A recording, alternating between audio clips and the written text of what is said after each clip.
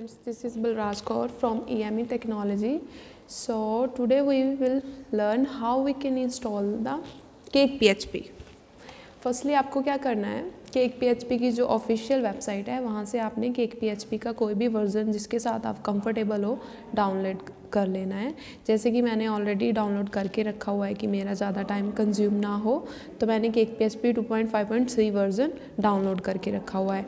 तो आपने क्या करना है? इसको कॉपी करना है। इस वर्जन को डाउनलोड से उठा के आपका जो सर्वर है, वहाँ पे आपने पेस्ट कर देना है, जैसे मैंने ये पेस्ट कर लिया है और मैंने इसको एक्सट्रैक्ट भी कर रखा है क्योंकि ये कुछ ज़्यादा टाइम कंज्यूम करता है सो मैंने इसको ऑलरेडी एक्सट्रैक्ट कर लिया है। तो हम क्या करते हैं, इसका नेम कुछ ज़्यादा बड़ा है तो मैं इसको थोड़ा सा रीनेम कर लेती हूँ, जैसे मैंने इसका नेम लिख लिया है केक तो अब क्या करना है, आपने वहाँ पे एच टी डॉक्स के फोल्डर के अंदर जो भी आप सर्वर यूज़ कर रहे हो वैम्प है तो उसकी लोकेशंस अलग रहती हैं डाउनलोडिंग को इंस्टॉल करने के लिए। लेकिन जो हमने जैम्प के अंदर किया है, उसकी एच टी डॉक्स थी तो मैंने एच टी डॉक्स के अंदर केक नाम के फोल्डर से केक पी एच पी को एक्सट्रैक्ट कर लिया है। अब इंस्टॉलेशन का जो हमारा नेक्स्ट स्टेप रहता है, हमें उसमें क्या करना होता है? कोई भी नया डेटाबेस क्रिएट करना होता है। क्योंकि इंस्टॉलेशन के लिए हमें डेटाबेस के साथ कनेक्टिविटी देनी पड़ती है। तो मैं यहाँ पर कोई भी नेम दे दूँगी इसको। जिसमें मेरी केक पीएचपी की डेटाबेस के सारे टेबल्स क्रिएट होंगे। तो मैंने इसका नाम सिंपल केक दे दिया है और डेटाबेस क्रिएट करने के ऊपर क्लिक कर लिया है। तो जैसे कि आप देख रहे हो, यहाँ पे हमारा केक नेम से डेटाबेस सॉरी क्रिएट हो गया है। अभी हमने इसके अंदर कोई भी टेबल क्रिएट नहीं करना है, क्योंकि फर्स्टली हम क्या करना चाह रहे हैं कि हमें केक पीएचपी इंस्टॉल करनी है। तो हमें डेटाबेस की कनेक्टिविटी चाहिए, इसलिए मैंने केक पीएचपी के लिए एक सिंपल डेटाबेस क्रिएट कर लिया है। तो अब हम क्या करेंगे, अपने सर्वर के ऊपर जाके लोकल होस्ट खोलेंगे। एक नया फोल्डर इसका ओपन कर लेते हैं, एक टैब के अंदर। तो हम क्या करेंगे, यहाँ पर टाइप करेंगे लोकल होस्ट और जो भी आपके फोल्डर का नेम है। जैसे कि हमने अपने फोल्डर का नेम रखा हुआ था, केक, ठीक है? तो हमने क्लिक किया तो केक पीएचपी का फोल्डर हमें यहाँ पे शो हो रहा है तो अब हमने इसके ऊपर क्लिक करना है। फॉर फर्दर स्टेप्स लाइक हम इसको इंस्टॉल करना चाह रहे हैं, अभी ये इंस्टॉल नहीं है तो इंस्टॉल करने के लिए जो भी उसके स्टेप्स रहेंगे, वो हमने फॉलो करने हैं। तो केक पी में क्या होता है कि आपको जब भी कोई एरर या कुछ भी रिक्वायरमेंट्स रहती है, वो साथ के साथ हमें नोटिस भेजता रहता है। तो उसने सबसे पहले हमें क्या बोला है कि please change the value of security salt in app config core dot P हमने सॉल्ट वैल्यू को चेंज करना है एप्लीकेशन की तो इसके लिए उन्होंने हमें लोकेशन भी बता दिया कि आपको ऐप कन्फिग कोर पीएचपी के अंदर जाना है। तो अब हम क्या करेंगे? अपने एच टी डॉक्स फोल्डर के अंदर जाकर जो हमने केक पी एच पी यहाँ पर डाली थी, उसमें हम ऐप नेम का फ़ोल्डर ओपन करेंगे। जैसे कि ये हमारा ऐप नेम का फ़ोल्डर हमारा ओपन हो गया है। इसके अंदर अब हमने क्या करना है कि जो हमारा इन्होंने नेम दिया है ऐप कन्फिग कोर तो हमने कन्फिग फोल्डर ओपन करना है। इसके अंदर हमें कोर फोल्डर चाहिए। तो मैं इसको ओपन करूँगी। और यहाँ पर मैं सिक्योरिटी सॉल्ट चेंज करना चाहती हूँ। तो फर्स्टली हमें क्या करना है? हमें फाइंड करना है कि कहाँ पर सिक्योरिटी सॉल्ट चेंज होगा, ताकि हम अपनी केक पीएचपी को इंस्टॉल कर सकें। तो हम यहाँ पर ओपन कर रहे हैं कोर पी का पेज और यहाँ पर लिखा होगा सिक्योरिटी सोल्ट जो हम चेंज करना चाहते हैं, उसकी हमें वैल्यू चेंज करनी है। तो देखिए, ये यहाँ पर आ रहा है सिक्योरिटी सॉल्ट और ये इसकी कुछ भी रैंडम वैल्यू जो भी उन्होंने बनाई हुई है सिक्योरिटी के लिए, उसमें से आपने कोई भी तीन डिजिट्स, तीन वर्ड्स जो यहाँ पर हैं, सॉरी, वर्ड्स आपने चूज़ करने हैं और उसकी जगह रैंडमली कोई भी अल्फ़ाबेट्स आपने इसमें डाल देने हैं और इसको कंट्रोल एस करके सेव कर देना है। उसके बाद अब हम चेक करना चाहते हैं कि हमारा सिक्योरिटी सोल्ट चेंज हुआ है कि नहीं, हमने इसको रिफ़्रेश करके देखना है। तो हमारा सिक्योरिटी सोल्ट वाला एरर चला गया।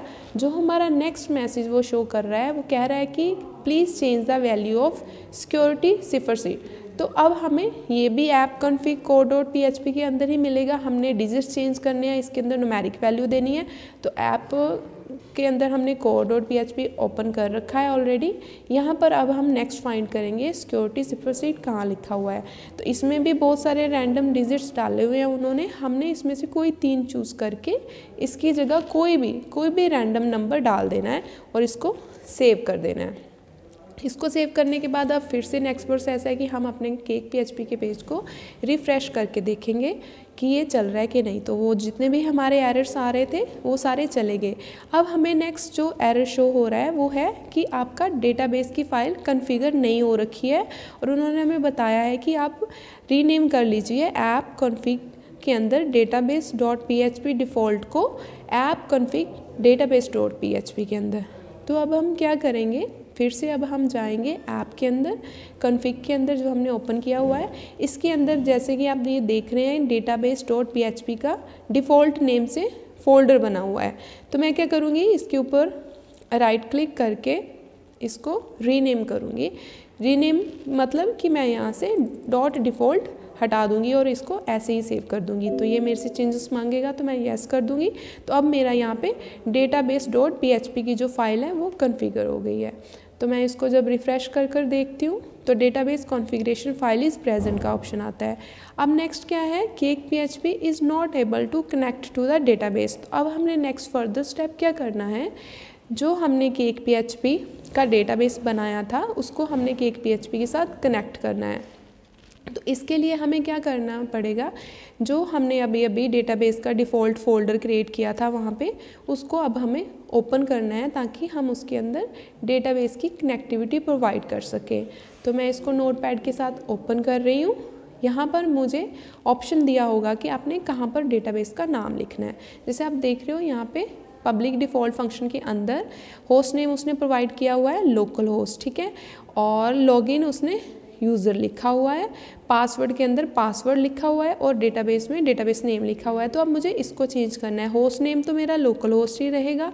लॉगिन के लिए मैं जो जैम सर्वर पे यूज़ करती हूँ, कर रही हूँ, वो मेरा यूज़र नेम रूट है और मैंने इसके ऊपर कोई भी पासवर्ड नहीं लगाया हुआ है। मेरा पासवर्ड एम है तो मैं इसको यहाँ से हटा दूँगी और खाली छोड़ दूँगी। और जो डेटाबेस का नेम हमने वहाँ पे रखा हुआ था वो केक रखा हुआ था P H P my admin के अंदर। तो वो मैं यहाँ पे इंसर्ट करके इसको सेव कर दूँगी और इसके चेंजेस देखूँगी कि मेरी डेटाबेस की फ़ाइल कॉन्फ़िगर हुई है कि नहीं हुई है। तो जैसे कि आप देख रहे हो, हमारा यहाँ पे वर्ज़न उन्होंने बताया हुआ है your version of P H P is five point two point eight और higher your temp directories writable next message जो भी app config core P H P का है डेटाबेस फ़ाइल है. कनेक्ट हो गया डेटाबेस के साथ। फ़िलहाल हमें सिर्फ़ ये इतने ऑप्शन चाहिए जो हमारे लिए सफिशियंट है। अगर हम इसमें अपने इंसर्ट अपडेट सेलेक्ट डिलीट के सिंपल ऑपरेशंस परफॉर्म करना चाहते हैं। इसके इसके साथ साथ अगर आप फर्दर इसमें कोई डिबग किट इंस्टॉल करना चाहते हैं तो वो भी आप कर सकते हो बट फ़िलहाल मुझे इसकी कोई भी रिक्वायरमेंट नहीं है।